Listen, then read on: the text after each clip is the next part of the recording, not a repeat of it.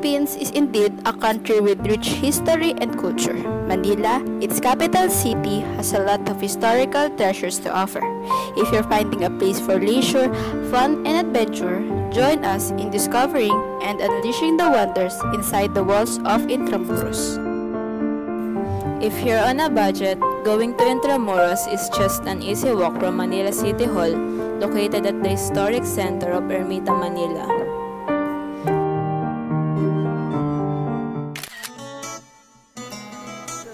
The Manila City Hall building, designed by Antonio Toledo, stands tall from the time of its construction since 1901.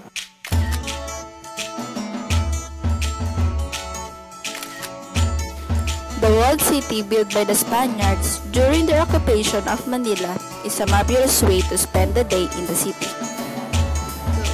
It is located along the southern bank of the Pasig River and was built by the Spaniards in the 16th century. It is the oldest district of the city of Manila. The name is taken from the Latin intra and muros, literally means within the walls.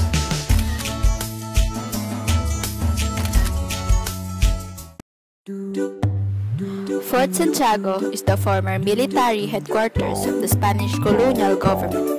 Although the fort sustained heavy damages during the 1945 Battle of Manila, several key portions of the compound were restored, including its iconic gate with a wooden relief featuring Santiago Matamoros, the patron saint of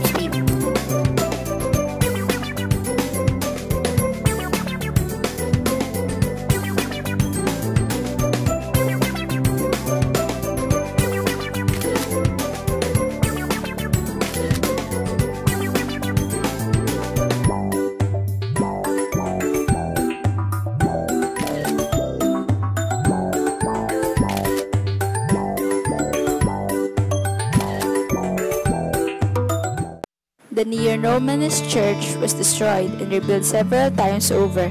The cathedral is the seat of the Roman Catholic Archdiocese of Manila and one of the most important churches in the Philippines.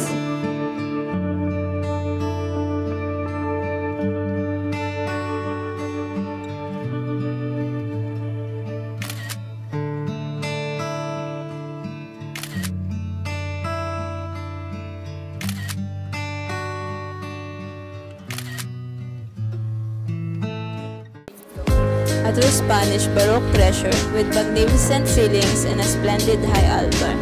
This ancient building managed to survive the Second World War and is said to be the oldest stone church in the Philippines.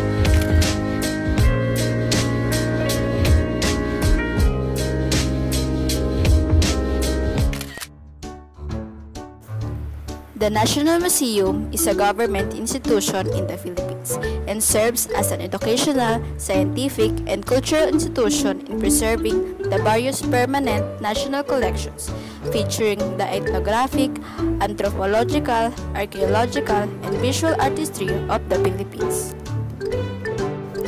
The main hall of the National Museum features paintings that depicts different historical scenes from the events of Spanish occupation in the country.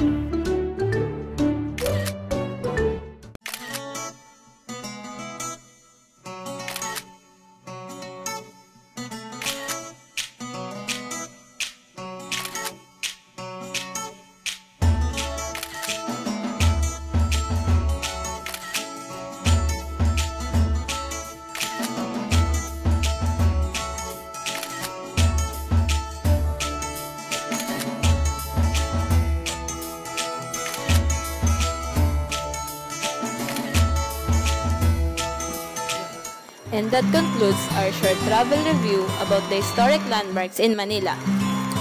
This has been your tour guides Maevilyn Esmalla And Jennifer Nadua, thanks for watching!